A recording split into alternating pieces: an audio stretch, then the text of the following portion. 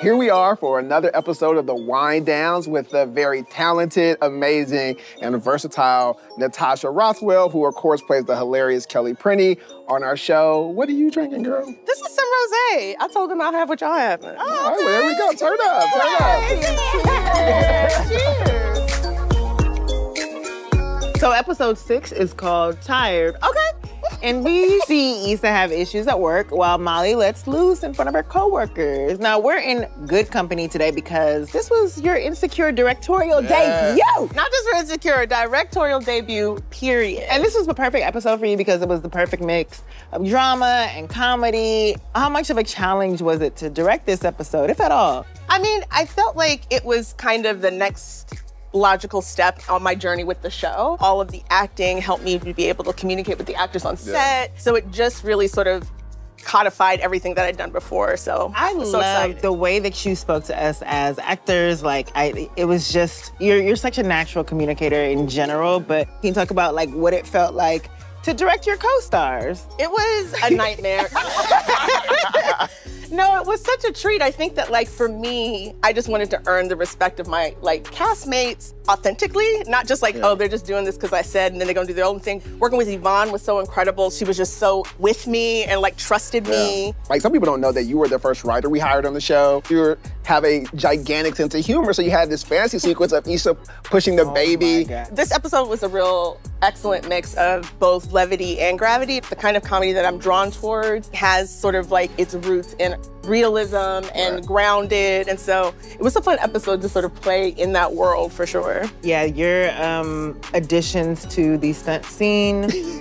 I felt like you wanted me to get kicked. As a director, I just wanted to play and just to see, let you find it as well as well, I found it. My Okay, face cool. found the ground alive in those trash. Kick straight in the trash. straight in the trash. I will say, your fadeaway jump shot of an was great. actual baby, like when I was in the edit, I was just like, Nina, can we just run that back just for me? I just need to see because your face was so hard. It was perfect. So in this episode, Issa is having some inner conflict, right? Do you guys feel she's really struggling with the decisions about Crenshaw or Nathan or Lawrence that she's made? I think she and everyone in this episode is struggling with choices, right? So Yeah. it's about understanding that just because you like the choice and make the choice, it doesn't mean it's going to be easy or Mm. Yeah. Mm-hmm. that it's not going to have consequences. And so it's very subtextual what they're all going Yeah. through until they actually put words to their feelings. Yeah. And so I think that's also the journey that Issa takes throughout this season of just like how do you speak your truth and like stand behind it. One thing I do think is unique in this episode is the first moment, a spark of what could or could not be between, you know, Molly and Taurean. I'm curious,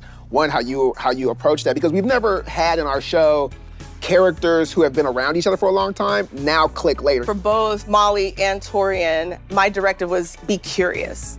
And just having Yvonne in moments when she's looking at him of just like, see something you don't think you've seen before. Like, you know, just actually look for something different. And Leonard, who plays Taurean, is just so deeply funny.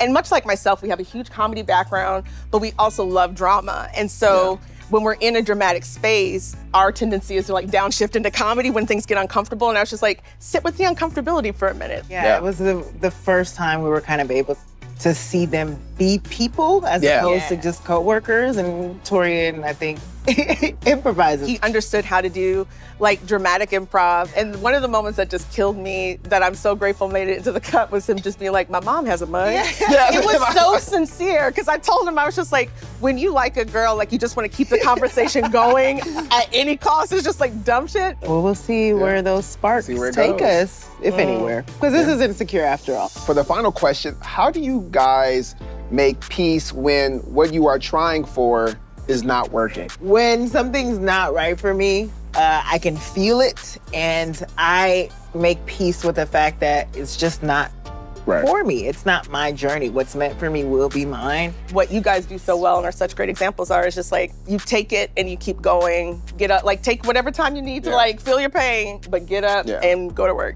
and get it done. It's all a marathon. Well, next week's episode will no doubt lead to much more discussion. So don't forget to tune in.